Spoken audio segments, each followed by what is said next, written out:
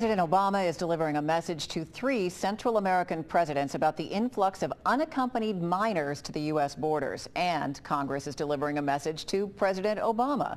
Michelle Sagona has details from the White House. President Obama is meeting with the presidents of Honduras, El Salvador, and Guatemala to make it clear they must do more to stop the flow of children trying to make it to the U.S.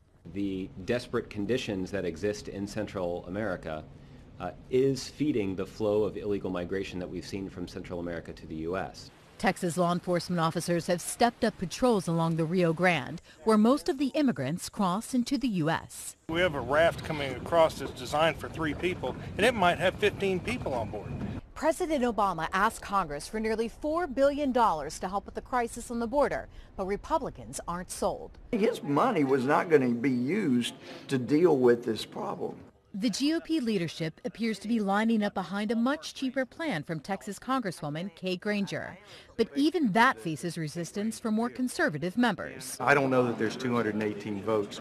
Congress has a week left to reach a deal before its August recess. Michelle Sagona for CBS News, the White House.